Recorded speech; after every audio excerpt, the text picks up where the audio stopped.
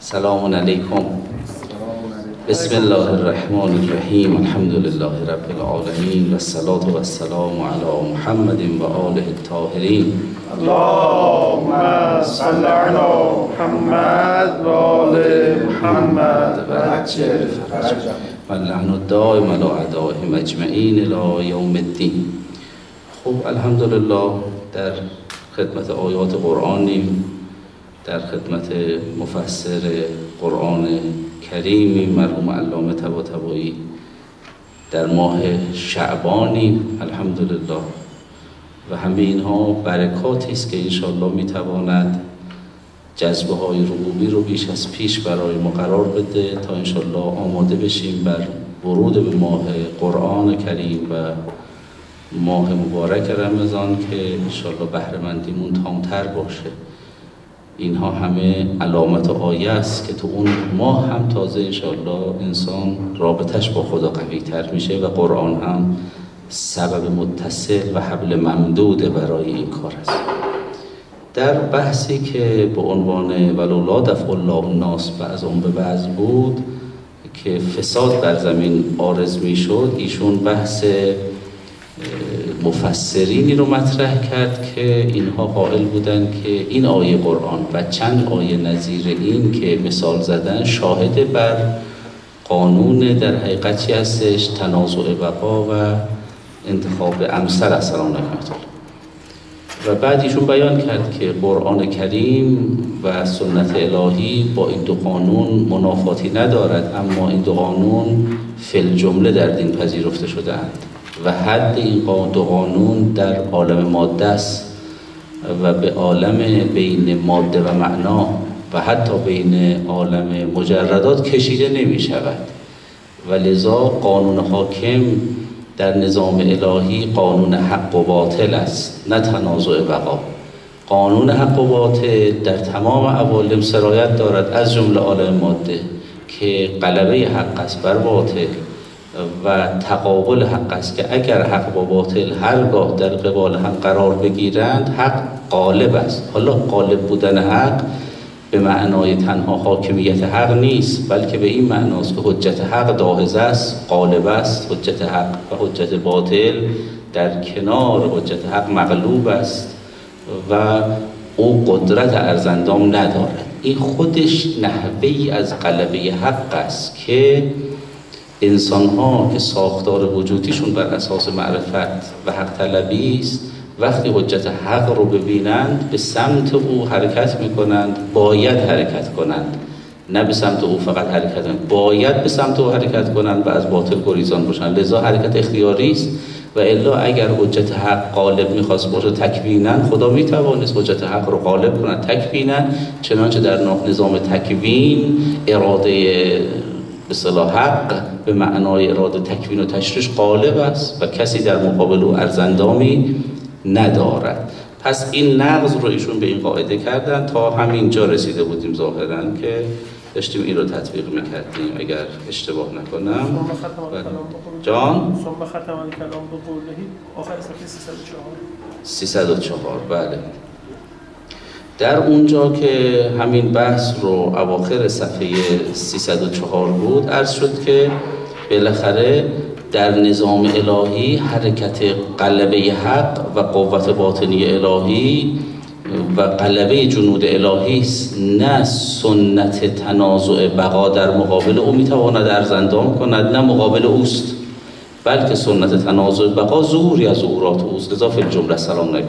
این بیان رو کردن بعد فرمودن که بله بله آیه شریفه ای که آمد که بل سیغلبون لانهم مظلومون ظلموا علی قول الحق الله سبحانه حق و ینصر الحق فی نفسه به معنا ان الباطل لا یقدر. باطل ببینید کلام رو تغییر داد از تنازع بقا به چی؟ به حق و باطل. این تا کلام حق و باطل شد فرهنگ در حقیقت مسئله تفاوت می‌کند.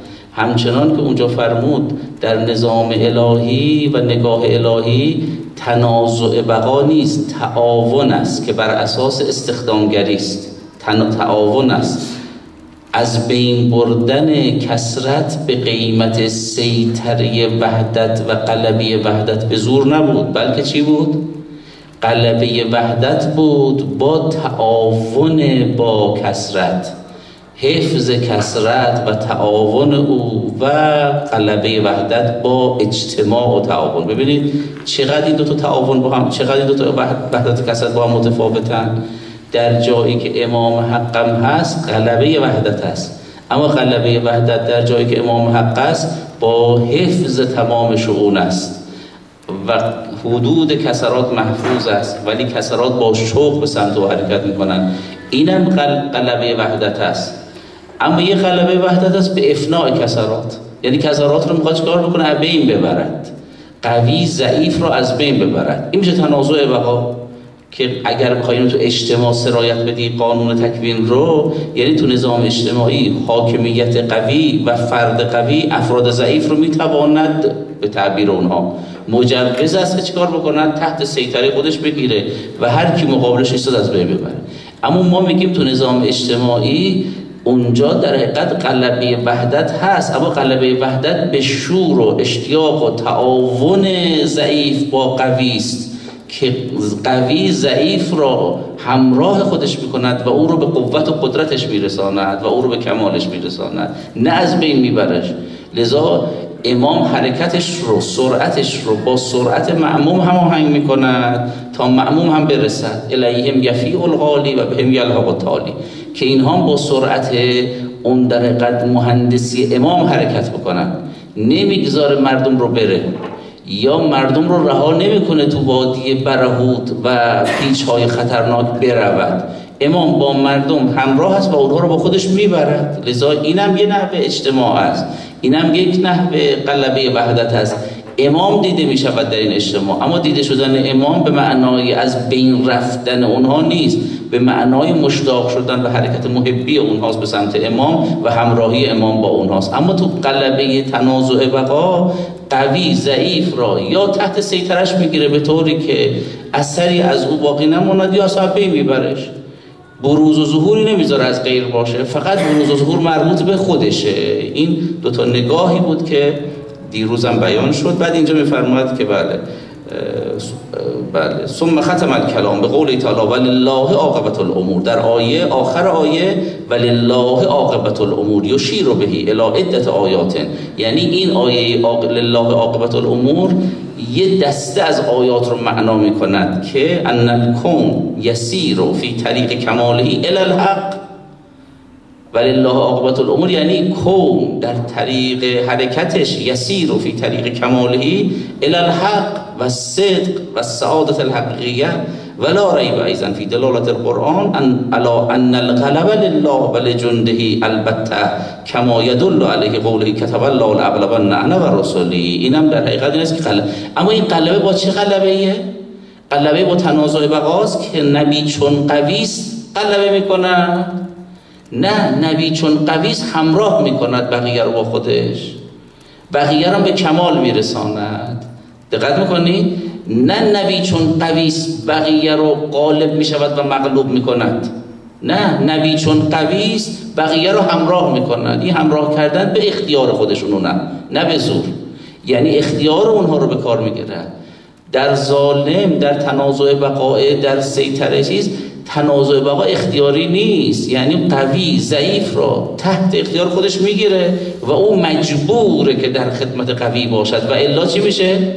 و الا از دور و صحنه هستی حذف می شود اما در اینجا به اختیار خودش حرکت می کند او دعوتش ما به اختیار خودش. این به اختیار خودش می‌فهمد که اگر نیاید نه اینکه نبی او را از صحنه هست حذف کند بلکه او را هستی از صحنه حذف کند هستی؟ او را از صحنه حذف کند دیگه هستی؟ بله. نه دیگه تو نظام هستی. خود اینم جزء هستیه. اگر هستی چیزی بود غیر از این مثل ظالمی که غیر از مظلوم است. درسته؟ این قهر می‌شد نسبت به این. اما چون این هستی اینم جزء هستیه. اینم درون هستیه. اینم از اجزای هستیه. یعنی قانونی که بر خودش هم حاکم است. حقیقتی که خودش هم جزء اوست و سود می‌برد. هستی یعنی خودش و بقیه. نه هستی یعنی بقیه نسبت به او. اون جایی که قلب و قهر است یعنی بقیه نسبت به او. اگر میگیم هستی یعنی کمال خود اینم اینه. اما در قلبه قوی بر ضعیف کمال این او نیست. ما نظام های اجتماعی جوری میچینیم که قهرم مجبور بشه همراه بشه. اجتماع هم شامل خود این فرد هم میشه. تو نظام اجتماعی اعتبار است. تو نظام اجتماعی چیدنش اعتباری است یعنی چینش های مختلفی امکان پذیر است. اما تو نظام هستی چینش های مختلف امکان پذیر نیست. این تو نظام هستی مهره از مهره های هستی است البته.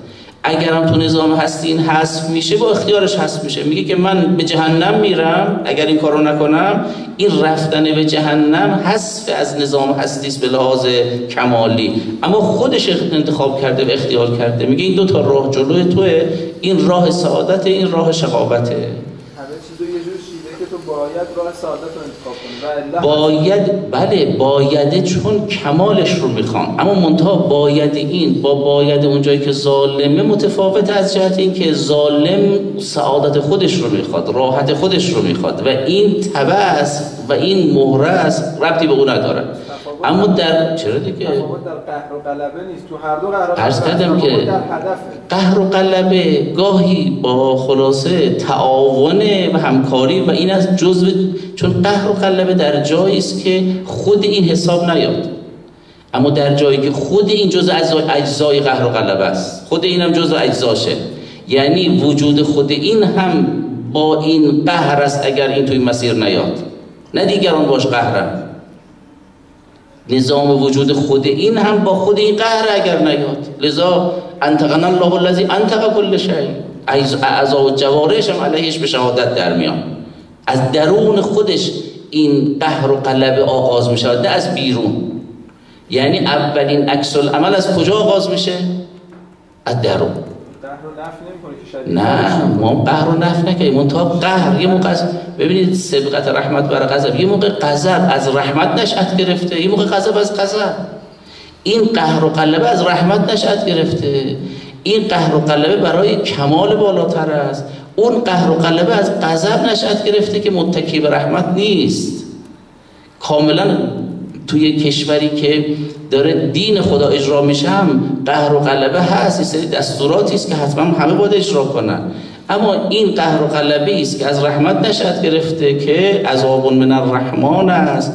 یا در حقیقت سبقت رحمته غضب است. از این یه موقع است نه از باب در حقیقت چی هستش؟ این است که اون شخص انانیتش گل کرده بقیه رو می‌خواد نباشه.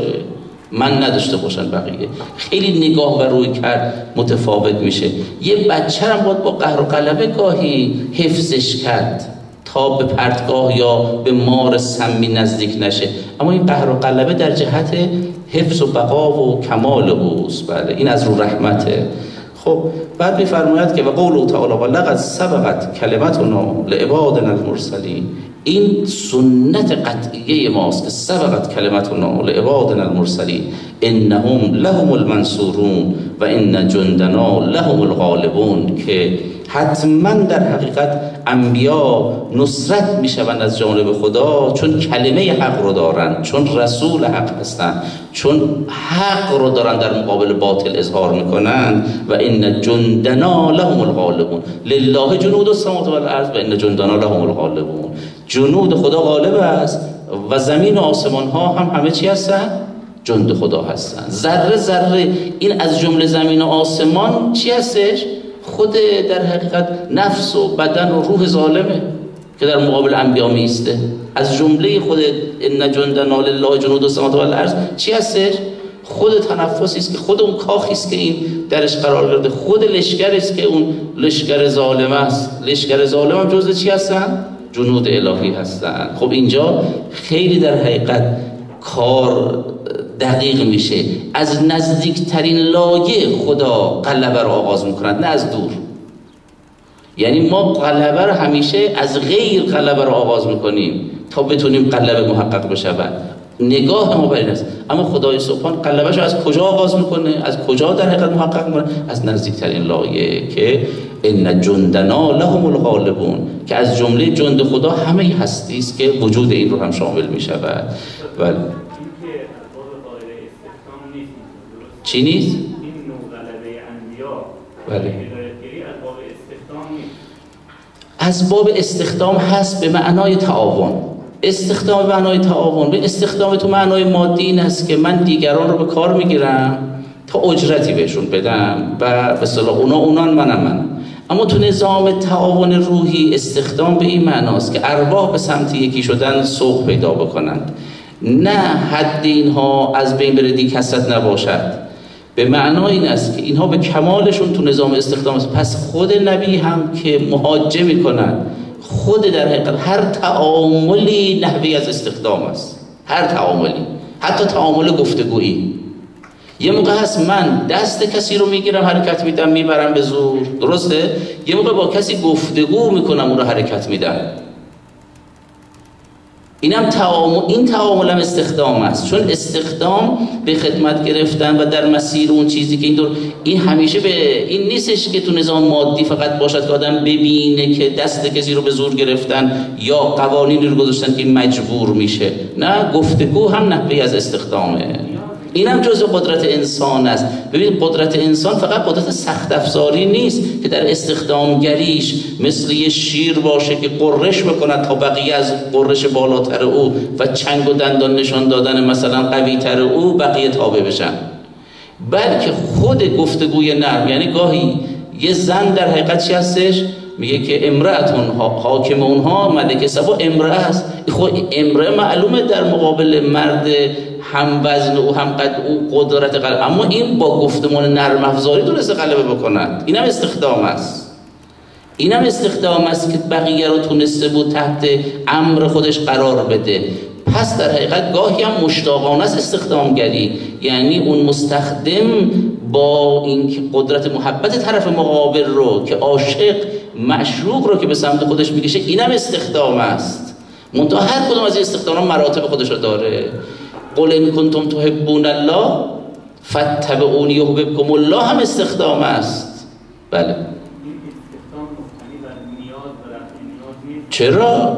اصلا اساس جعل استخدام که خدای سبحان قرار داد در عالم مبتنی بر رفع نیاز است. یعنی انسان ها در رفع هوایجشون محتاج به تعاملن و لذا خدا قدرت استخدام رو در بشر قرار داد تا با این استخدام رفع اون حاجات بشود. انسان کامل در مسیر تکامل نمی‌تونه هم گندمش رو خودش بکارد هم همه وسایلی رو که لازم دارد اونم لباس رو می‌رفت می‌خرید. امیر مومنان وارد بازار شد لباس می‌خرید. اینم استخدام است که دیگری پارچه رو پنبه رو کاشته یا پشم و در کنده ریسیده بافته در حقیقت همون اینا. اینا استخدامگریه.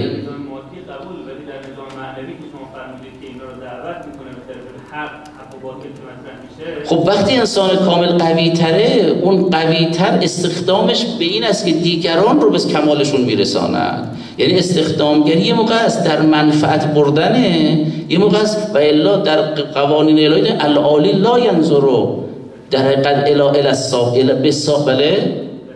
بله دیگه به صافل بدانی نظر او نیست یعنی میل او نیست به عنوانی که این میل این باشد که از او بهره ببرد.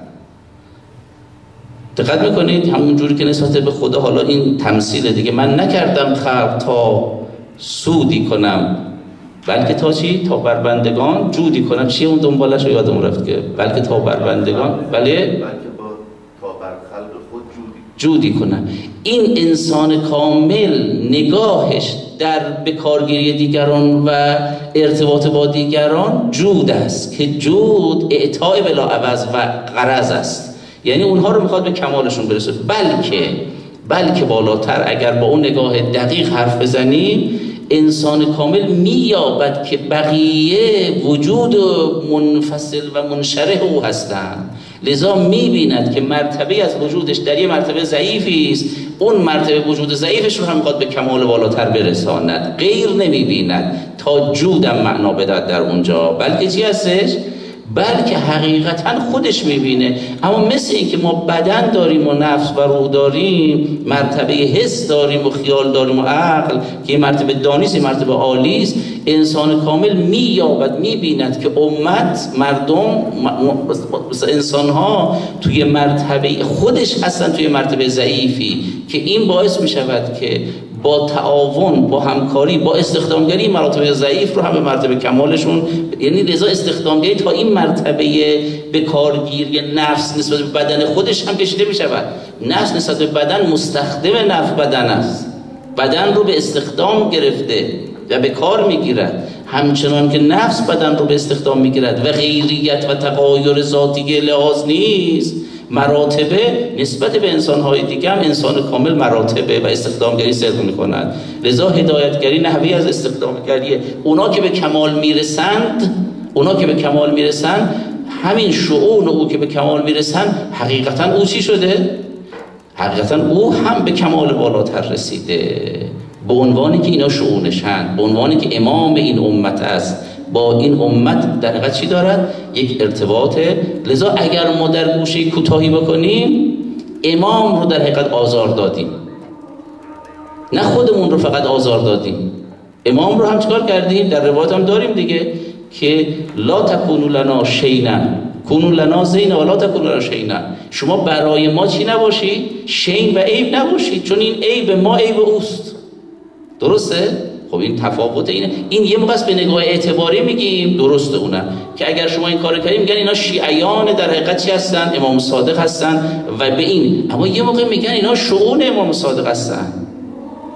مثل بدن امام اگر عیبی داشته باشد به امام منتسب است. اگر در اینجا هم عیبی بر مؤمنین باشد در حقیقت این عیب به امام صدق می‌کند. تونستم عرض برسونم؟ بله بعد میفرماید که بله والله غالب علی امره که این والله غالب علی امره در سوره یوسف عرض کردیم که تو اونجا این نقطه مرکزی سوره یوسف سلام الله علیه هست که والله غالب علی امره. یعنی خدا با صفت غلبه در امرش در سوره یوسف با همه جمالی که اونجاست و رحمتی که در اونجاست حقیقت این سوره والله غالب علی امره است. که در هر جا همه اراده ها در مقابل اراده حق قرار اراده حق غلبه داشت. در هر موردی در هر جایی. چه در مرحله که برادران رو به چاه خواستن بندازن چه در وقتی که خواستن بکشن چه در وقتی که کاروان آمد چه در وقتی که بنده شد چه در وقتی که در خانه عزیز چه در وقتی که زلیخا همه تدابیر و درها رو بست و همه چه در وقتی که زنان علیه و همه چه در وقتی که در زندان انداختنش. به تو تمام مراتب چی بود؟ والله غالب علی امره آشکار بود که والله غالب علی امره. و کذا آیت الثانی. میگه همچنین آیه دیگری که این مفسر به او استناد کرد که انزل من السماء ماء فصالت اودیتون به قدرها مسوقه لبیان بقاء حق و ظهور باطل است. که اگر گفت اون اما زبد اون کف خشک می شود و اما ما ینفع الناس فیمکث فی اون میماند اونی که در زمین میماند میماند اون که نافع است و وقت بقاء الحق و ظهور الحق سبا کان علی نه. صدا بلند من صحبت می‌کنم؟ آه خلاص. اگر چیز من حواسم نبودش که این بلنگو با اون بلنگوی ما فرق می‌کنه مثل ولی آره اینا دیگه آره اون بلنگوی ما اون جزء بالاخره ضعفاست این جزء اقویاست این اتاق که آمدیم بالاخره. بله. بقاء الحق و حقوق الباطل سوان کانه. علا نحو تنازع. ببین حالا اینجا سه نوع تن به حق و باطل رو معنا می‌کند. گاهی حق و باطل به نحو تنازع است. در عالم ماده این گونه است. در عالم ماده حق و باطل به نحو چیه؟ تنازع است که با همدیگه می جنگن یکی میشه ظالمه یکی در حقیقت سعید است. شقاوت و سعادت است. این حق و باطل به معنی عالم مادی است که تنازع درشه. که میفرماید که بقا الحق و ظهور سوان کان علی نحو تنازع یک. کما فی الحق و الباطل الذین هما معا من سنخ المادیات. از سنخ مادیات هستن تو عالم ماده هستن و البقا بینهما به نحو تنازع است. دو او لم یکن علی نحو تنازع و المزاده حق و باطل هست اما تنو به نحو تنازع نیست بلکه به نحو چی هستش؟ کما فی الحق و الباطل اللذین هما بین المادیات و المعنویات بین مادیات و معنویات تنازع به چه نحویه؟ ظاهر و باطن. تنازع که وعلموا انما انما وعلموا انما الحیات الدنیا چی لحق و لعب درسته؟ یا یعلمون ظاهرا من الحیات الدنیا این باطل است. لحو و لعب است. این باطل است. حقیقت چیه؟ ان الدار الاخرت لهی الحیوان یا و ما متاع الحیات الدنیا فی الاخرت الا قلیل حیات دنیا نسبتش به آخرت قلیل است. یعنی اگر امر دائر میشه بین حیات دنیا و آخرت او حق است. او این باطل است. پس تنازع نیست بین دنیا و آخرت. درسته که در روایت میفرماید که دنیا و آخرت ذرتان. اینا دو تا هوو هستن. اما این ذرتان در وجود این شخص نه در عالم واقع. در وجود امیال این شخص اینا ذرتانن. و الا دنیا که با آخرت تعارض ندارد که. چون اصلا دنیا متجر اولیاء الهی است. تمام سرمایه ما برای رسیدن به آخرت دنیاست که از اینجا باید حرکت بشه. به این نگاه در مقابل هم به اون نگاه که در وجود این میل به این و میل به او تعارض می‌کند و کشش های وجودی تو وجود این دنیا و آخرت تو ابتدا ذرتانه اما تو عالم واقع چی هستن دنیا و آخرت؟ ظاهر و باطنه با آخرت باطن دنیاست. تعارضی نیست بینشون. تو میل من یکیشو می‌تونم انجام بدم. پس اینا برمیگرده به دنیا این جهتش. من یکیشو می‌تونم انجام بدم. یا این وری باشم یا اون وری نمیشه. هم اینو کامل حفظ بکنم هم اونو کامل حفظ بکنم. باید بعضی جاها از حدودی از این عبور کنم بگذرم تا به او برسم. درسته؟ تو درون من میشن ذرت اما تو عالم بیرون نسبت بین دنیا و آخرت نسبت بین ظاهر و باطن است. که این دقت به چقدر زیباست که ظاهر و باطن تعارضی ندارن. ظاهر باطن دو جلوه حقیقتا. ظاهر ظاهر همون باطنه. همونه. غیر از اون نیست. اصلا هو صدق می‌کنه بر اونها. منتها این حد اونه. و این منشین الله عندنا خزائن و ما ننزل الا به قدر معلومه این قدر اونه. این حد اونه. پس تعارضی با هم دیگه ندارن. خب اینم دومیش. بله. فإن المعنا و نعنی به الموجود المجرد عن الماده مقدم على الماده غیر مغلوب فی حال که اگر ما آیات رو ببینیم ما عندکم ینفد و ما عند الله باق. اونی که جنبه بشری و مادی دارد نافد است. اونی که جنبه الهی دارد باقی است. ظاهر و باطن است. این نافد بودن و از بین رفتن. خب یا در اما در مرتبه سوم و کما فی الحق و الباطل اللذین هما معن من سنخ المعنویات و المجردات. اون جایی که هر دو از سنخ معنویات و مجردات باشن حق و باطل در اونجا به چه معنا می شود؟ اونجا در حقیقت قلبه تام الهیت است که ان القوت لله جمیعا. ان العزت لله جمیعا. تمام کمالات دیگه در قبال عظمت حق همه مغلوبن. کمالا. تعارضی هم نیست بینشون. همه در حقیقت هرچه هستند از آن کمترند که در خلاصه همه هرچه هستند از آن کمترند که با هستیش نام هستی برند. که اگر اشیا در قبال هم باشن هر دو کمالن این شی این علم است او در حقیقت چی هستش؟ او مثلا قدرت هست هر دو کمالن تعارضی هم با هم. اما وقتی علم و قدرت کمالی موجودات در قبال علم و قدرت الهی قرار می‌گیره محو است. مثلا اونجا میفرماید که ولی من الملک اليوم لله الواحد القهار که اونجا احدیت طلوع می‌کند و همه هرچه هستند از آن کمترن که اونجا با هستیش نام هستی برند. چو سلطان عزت علم برکشد جهان سر به جیبه عدم درکشد یا برکشد که اونجا درکشد سر به جیب عدم یعنی در مقابل حق هیچی هیچی نیست.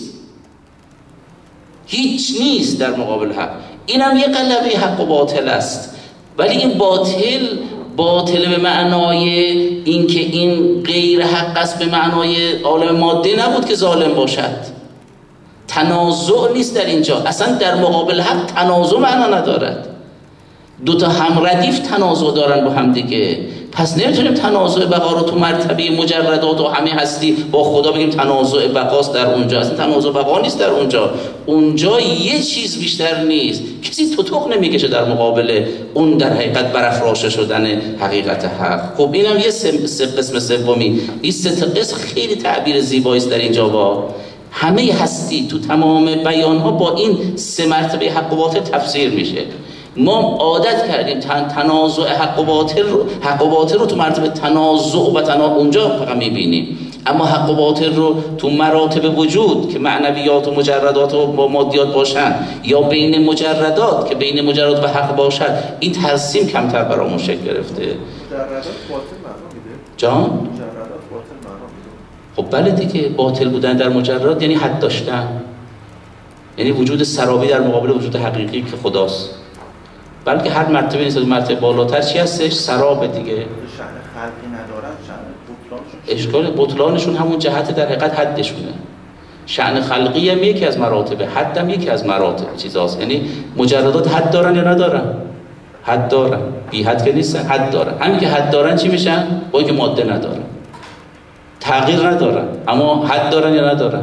حد دارن. چون حد دارند اون زوا... لذا آیا اسرافیل و جبرائیل و مثلا ازرائیل و میکائیل آیا در نهایت مت به اینها آرز می شود یا نمی شود این باطل بودن دیگه نسبت به اون حق که او ظهور می کند که اون در حقیقت این هم بطلان به معنای در حقیقت چی؟ کل شیء حال کن الا کل شیء نه عالم ماده. الا وجه الهی که او فقط اون وجه الله هست که و یبقا وجه رب بکر او در حقیقت وجه رب است که در حقیقت هستش؟ او در حقیقت به اون وجه رب است که جلال و الاکرام است.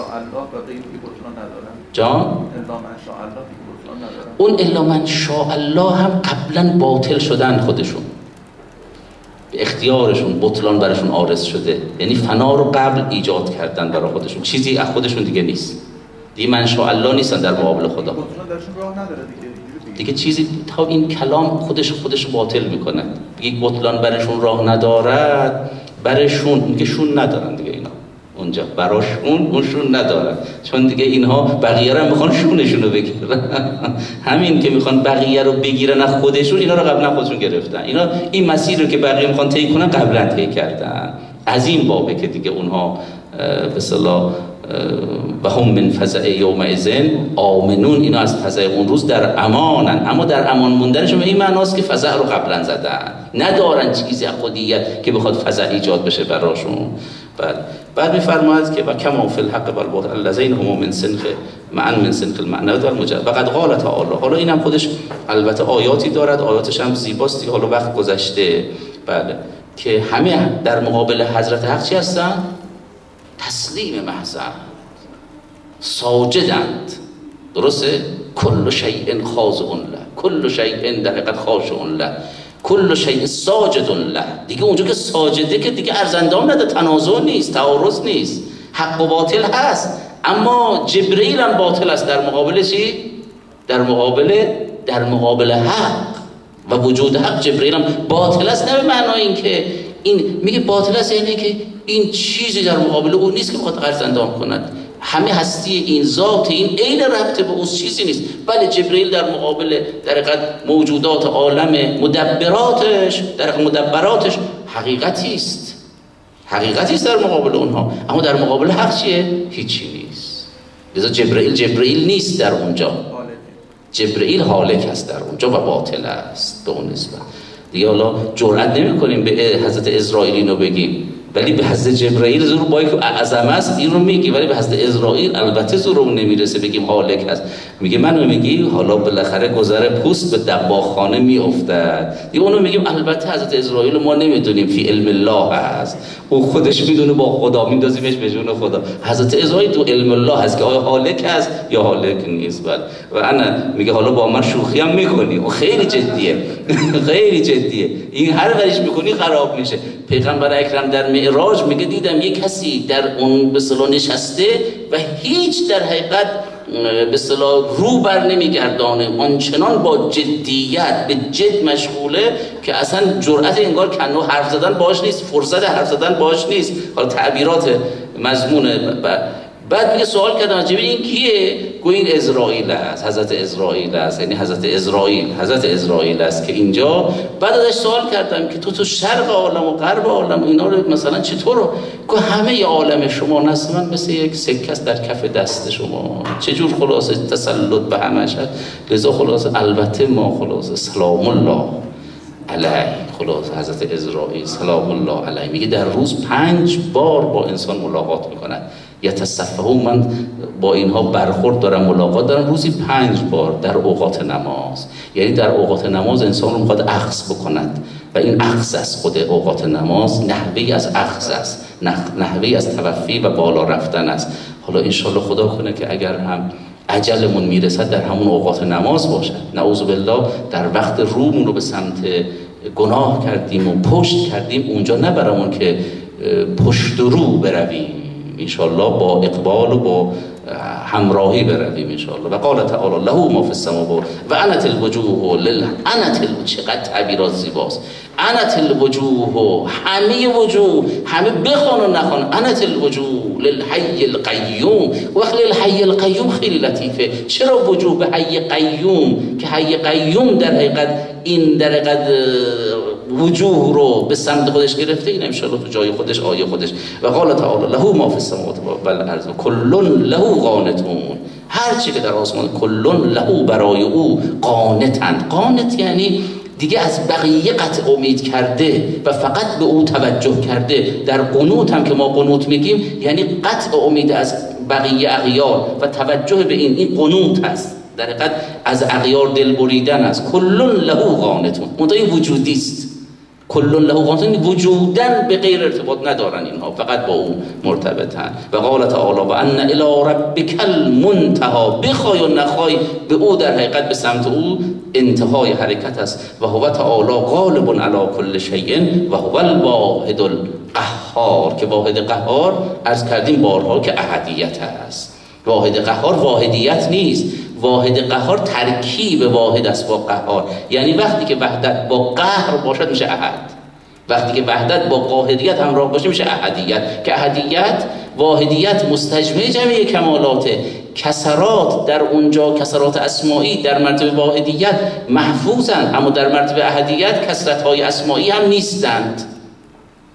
دقت کردید؟ کسرات اسمایی دیده نمیشن. و اونجا احدیت فقط هست که واحد قهار است. خب و اما الآیت التي نحن فيها عنی قوله تعالی و لولا دفع الله الناس بعضهم به بعض. لفظ این آیه شریفی که ما درش هستیم تا اون آیات کناری رو آورد فقط عرفت ان فی مقام الاشاره الى حقیقت یتکی علیه الاجتماع الانسانی الذي به امارت الارض و به اختلاله یختل الامران و تفسد الارض و هی غریزه میگه پس این آیه به چی اشاره دارد میگه به غریزه استخدام که این اشاره دارد به غریزه استخدام الذي جبل علیه الانسان و تعدیت ها الى التصالح فی المنافع که نتیجهش میشه چی؟ نتیجه این قوه استخدام غریزه استخدام الى التصالح فی المنافع. بهرهمندی در منافع بیشتر از صلح در منافع است. ان تمدن و الاجتماع به صلاح تعاونی. استخدام به کجا منجر می شود که اگر نبود قوه استخدام در انسان ها انسان ها به سمت فردیت حرکت می به سمت اجتماع یعنی نظام اصلی انسان در زندگی می‌شد فردیت. یعنی هر کسی توی گوشه ای بود مگر جا نبود کنار هم قرار می گرفتن مثل آرد که کنار هم مثلا اون دانه های آرد و ذرات آرد کنار هم قرار گرفتن. کاری به هم دیگه ندارن. کاری به هم دیگه ندارن. اما انسان ها قوه استخدام همه رو به سمت هم سوق میده. خدا این کار کرده که اینها به سمت هم چی پیدا نظام خانوادگی رو قرار داده ارتباط رو در قرار داده نیازها ارتباط نیازها رو با هم دیگه قرار داده که اعن تمدن و اجتماع توبهات و بسیاری از احکام دین و کمالات متفرع بر رعایت همین قوانین اجتماع میشه و وقت. قوانین اجتماعی که میشه الان شما ببینید تو فقه و کتاب های فقهی چند تا در حقیقت حکم ما مربوط به فردیت محض است. حتی احکام عبادی ما عمدهش برمیگردد به چی؟ عمده احکام عبادی ما برمیگردد به احکام اجتماعیش. اگر نماز است نماز جماعت است جمعه است نماز میت است نماز انواع در حقیقت ارتباطاتی است که تو اینجا مثلا حتی مکان نمازگذار است. باید پاک چی باشد؟ یعنی با دیگران ارتباط دارد. باید اونجا رو آماده بکند. لباس نه. هر چی که هست می‌بینید ارتباط. تو روزه هست تو در حقیقت زکات هست تو خمس هست تو امر به معروف هست تو جهاد هست. همش اجتماع با اینکه عباداته. بله. و به عبارت اخرى واضح بله. لکن هم اسالک و تعدیت و هذا المعنا این استخدام. و این کانه بعض اعراقهی ریشه هاش اعراق ریشه هاشه و این کانه بعض اعراقهی و اصولش التنازع فی البقا و الانتخاب طبیعی بعضی از ریشه هاش به این می‌خوره اما همش این نیست. اینم به صلاح جنس بعیدشه. توی درقت سلسلش اینم قرار داره البته. لکن هم ازالکه استخدام سبب هو یعنی استخدام سبب قریب است. الذي يقوم عليه اماره الارض مسئولیت عن الفساد فینبغی ان تهمل الایت التي تريد اعطاء السبب فی عدم طرق الفساد. این که اینجا داره می‌خواد بگه که عدم طرق فساد بر ارز هست بر همین استخدام هم شود. لا علا ما ذکر من القاعدتین که ذکر شد از دو قاعده که تنازع بقا و انتخاب اصلح بود. و به عبارت اخرى باز از آن نشده که آقا بله القاعدتان با هم التنازع فی البقا و الانتخاب الطبیعی توجوان انحلال الکسره. ببین این همون نجیسی که عرض اول بحث. توجوان انحلال الکسره. قاعده تنازع بقا انتخاب نفی کسرت می‌کنن با قهر و غلبه. توجبان انحلال الكسر و عودت الى الوحده. فان كل من المتنازعين يريد بالنزاع افناء الاخر و زم ما له من الوجود و مزایا الى نفسه هر چی که دارد رو می‌خواد زمین به خودش بکند. و طبیعه بالانتخاب اصلا ترید ان یکون الواحد الذي هو الباقی منهما اقربهما و امثلهما. می‌خواد اون ضعیف چی بشه؟ ضعیف در حقیقت محو بشه در انتخاب اصلا هم. خب فنتیجه تو جریان القاعدتین که این دو تا قاعده بودن فساد الکسره و بطلان کسره و تبدلها الى واحد امثل فقط او بماند. و هازا امرون. ما نمی‌خوایم به وحدت برسیم به هر قیمتی. می‌خوایم به وحدت برسیم با جذب حد اکثری. مگر کسی خودش رو از اینجا چیکار کرده باشه؟ از این قاعده مقابل اجتماع قرار بده البته حکم مقابله با او محاربه با او و حذف او در دینم آمده. و هازا امرون ینافل این حذف کسرات ینافل اجتماع و تعاون و الاشتراک فی الحیات الذي یطلب الانسان به فطرته و یهتدی الیه به غریزته که غریزه استخدام باشد. و بهی به همین استخدام اجتماع و تعاون است امارت الارض. به هازا نو لا افناء قوم منه قوما از بین بردن در حقیقت عمران نیست. عمران چی هستش که در مقابل فساده میگه لفظ میگه فساد یعنی از بین بردن افنا. اما در مقابل فساد عمرانه. پس قوه استخدام عمران رو به دنبال دارد تنازع بقا افساد رو به دنبال دارد. و اکل بعض هم بعض اکل یعنی همون در تصرف دیگه همون در تصرف است. نه اکل خوردن. انسان که همدیگر نمی‌خورن که. و دفع الذی تعمر به الارض و یسانو الانفساد هو دفع الذی یدعو الى الاجتماع. اون دفعی که در مقابل فساده که لولا دفع الله الذی دفع الله الناس بعضهم لبعض این دفع چی هستش؟ اون استخدام است. که این دفع و این استخدامی است که ان هو دفع الذی یدعو الى الاجتماع بل اتحاد المستقر علی الکسره. که این مستقر بر کسرت است. دقت می‌کنید او ماهی کسرت بود و مفنی کسرت بود. این مستقر بر کسرت است. یعنی کسرت رو در حقیقت به پا می کند منتها کسرتی که با هم چی شدن؟ ارتباط برقرار کردن تعاون پیدا کردن. المستقر الکسرت و الجماعت دون الدفع الذي يدعو الى ابطال الاجتماع و ایجاد وحدت المفنیت للکسره که با تنازع بقا بود. پس تنازع بقا در نظام انسانی و اجتماعات انسانی به معنای قاعده فی الجمله هست. اما به معنای قاعده بالجمله نیست. بلکه اونم یه شأن یکی از سبب هاست. در سبب های قالب دیگه در کار هستن. فالقتال سبب سبب لامارت الارض و عدم فسادها من حیث انه پس قتال با این نگاه تو اون نگاه قتال کجا جایز می‌شد؟ تو نگاه تنازع بقا قتال همه جا جایز بود تا اون سلطه سلطگر محقق بشود. اما با نگاه الهی که اینجا میگه که این اصل بر تعاون است و استخدام قتال کجا جایز میشه؟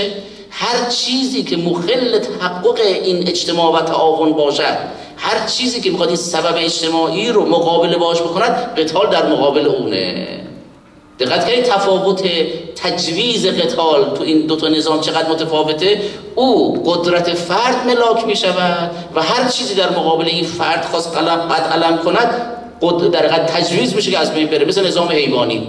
که نظام حیوان حکم می‌کند. هر کی تو این قلم رو تابع این شخص نباشد باید از بین برود و حذف شود از مجموعه. اما اینجا میگه نه هر کسی با اجتماع مخالف بود با تعاون مخالف بود با همراهی همدیگه ما اگر کسی می‌خواست نظم تعاون اجتماعی رو به هم بزند و اون همکاری عمومی رو به هم بزند این البته میشه چی؟ این میشه در حقیقت قتال با او لازم میشه و سبب لاماره الارض و عدم فسادها من حیث عدم فساد ارض.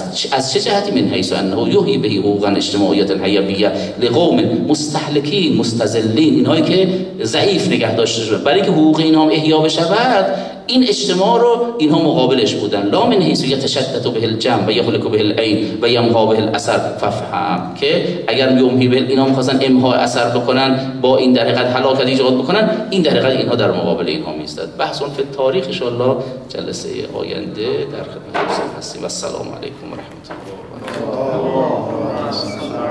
محمد و محمد و حالا همین رو خونده بودیم همشو؟ نخونده بودیم جاهاشو. خب اگر نخونده بودیم پس تکرار نشده چون من فکر کردم اون پارسال که خوندیم شاید اینا رو خونده بودیم پارسال پس نخوندیم الحمدلله. تدفیر نکردیم.